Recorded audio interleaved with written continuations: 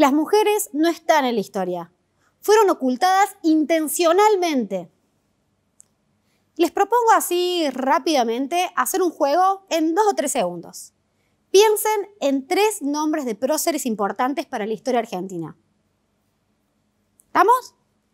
Estoy un 99,9% segura de que la mayoría probablemente eligió nombres masculinos.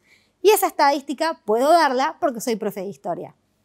A ver, me imagino que pensaron en Sarmiento, San Martín, Belgrano, Moreno, todos varones. Y acá seguramente alguien me diga, Pupina, yo elegí una mujer. Bueno, una mujer, un caso, una persona. En la historia argentina prácticamente no hay nombres de mujeres. ¿Será que no hicieron nada relevante ellas? ¿Será que San Martín cruzó él los Andes solo, curó a todos sus soldados, alimentó a todas sus huestes, controló todo el cuidado? ¿Será que Belgrano, él ideó toda la independencia solo, hizo la bandera con sus propias manos en su sillita, con su aguja? ¿Será que Sarmiento pensó todo el plan de educación nacional y fue escuela por escuela educando a cada niño, a cada niña, en cada ciudad, en cada provincia? ¿Será que esos actos fueron exclusivamente suyos? Para empezar, les traigo un nombre, Julieta Lanteri. Ella fue la primera mujer en votar en América Latina. ¡Wow! Es conocimiento general que el voto en nuestro país es obligatorio, secreto y universal para varones desde 1912 y para mujeres desde 1947. Bueno, Julieta votó antes que eso, votó en 1911. ¿Cómo hizo? O sea, que tenía la máquina del tiempo. Bueno, no.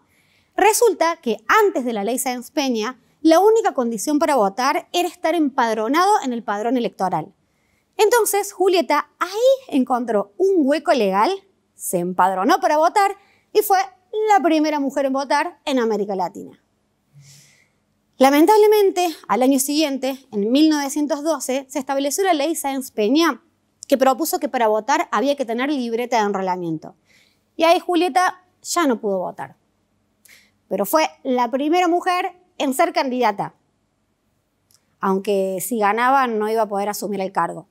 Pero como sea, qué groso, ¿no? A mí me parece loquísimo que poca gente conozca la historia de Julieta, siendo que hizo algo tan groso para el movimiento feminista y para la historia nacional y latinoamericana. ¿Quién querría que su nombre no se conozca? ¿Cuánta envidia?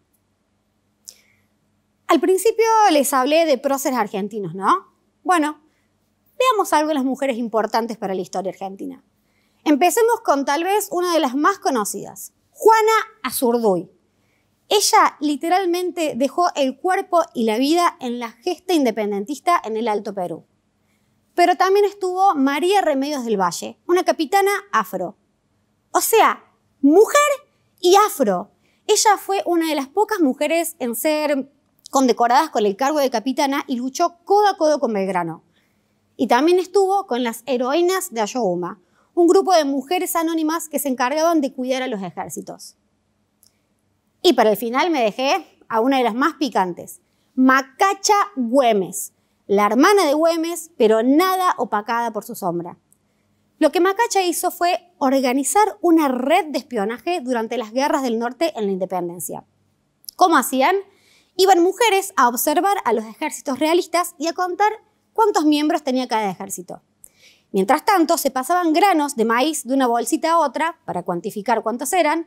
A ese número lo anotaban en un papel, se lo escondían en las polleras y lo mandaban a destino. Total, ¿quién sospecharía de una inocente señorita? Yo no sé ustedes, pero creo que a esta altura queda claro que la historia mainstream les mintió más que su sex. Entonces, ¿cómo es el asunto?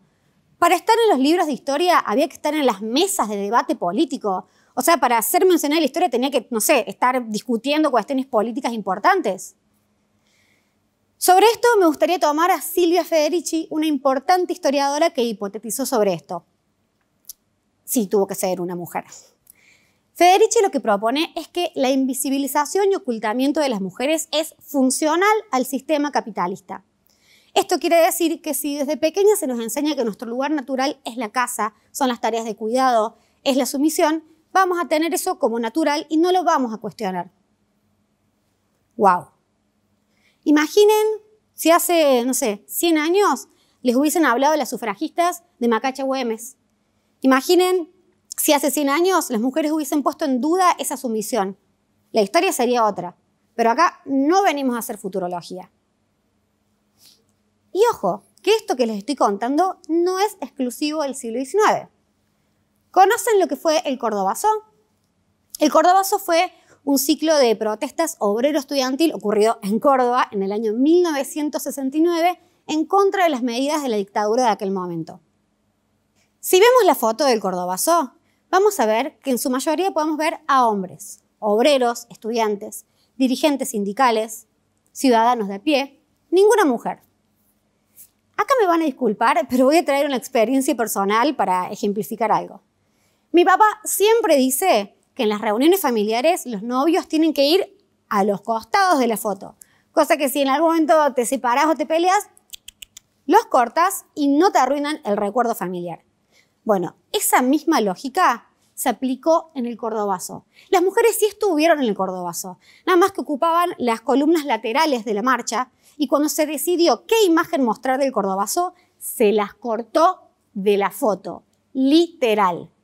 Y vámonos un poco más al presente. La guerra de Malvinas. Todos sabemos que en la guerra de Malvinas fueron soldados conscriptos jóvenes. Bueno, también hubo mujeres. A Malvinas se enviaron grupos de jovencitas de entre 15 y 17 años que fueron a cuidar, a contener y acompañar a los soldados heridos. Y ellas no están en la figura de heroínas de Malvinas. Se nos ocultó de la historia. Se nos enseñó que la historia la protagonizaron solo hombres. Encima, hombres blancos, heterosexuales, ricos y occidentales. Ni una disidencia, ni una mujer, ni una persona afro, ni un indígena, nada. Esto tiene un nombre y es violencia simbólica. Si se nos oculta, se nos está violentando. Entonces, ¿qué hacemos? ¿Tomamos dos o tres mujeres destacadas y las sumamos al relato que ya conocemos? Como si fuese a decir, no sé, me encanta tu look androcéntrico, le voy a sumar un chalequito de mujeres destacadas.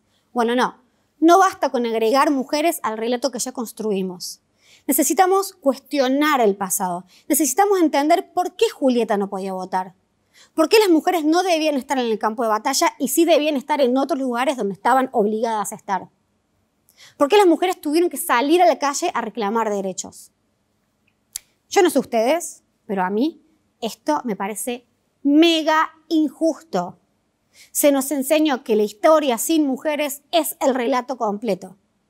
Se nos está construyendo un presente con un pasado que nos olvidó.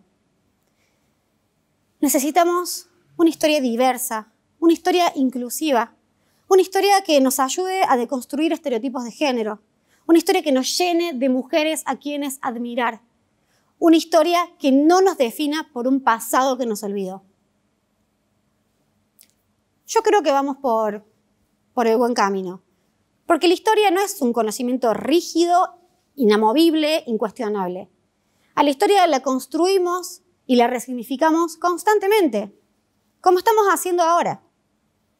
A la historia del futuro la estamos escribiendo hoy. ¿Cómo podemos esperar a una nueva Julieta si no conocemos su convicción? ¿Cómo podemos esperar mujeres independientes si no conocemos a Macacha, a Juana Zurduy, a María Remedios? ¿Cómo podemos esperar que las mujeres salgan a la calle si no conocemos a las mujeres del Cordobazo? ¿Cómo podemos luchar por nuestros derechos si se nos sigue ocultando de la historia?